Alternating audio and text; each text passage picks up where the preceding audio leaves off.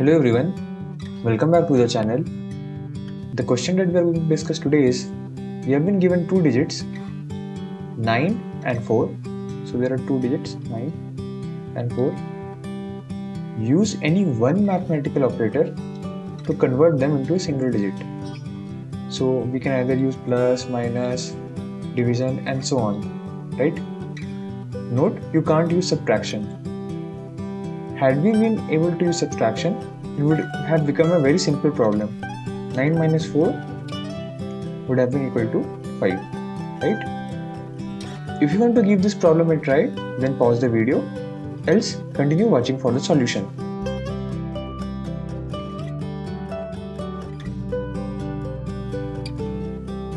Were you able to solve it? Let me know the answer in the comments below. So we have been given two digits, one is 9 and the other is 4.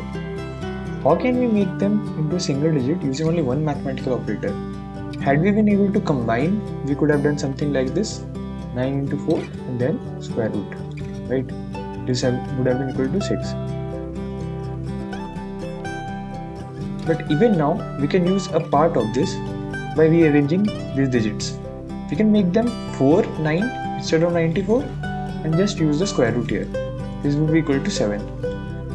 Hence, we would be using only one mathematical operator and both the digits 4 and 9. If you like this solution, then please subscribe to the channel. Thank you.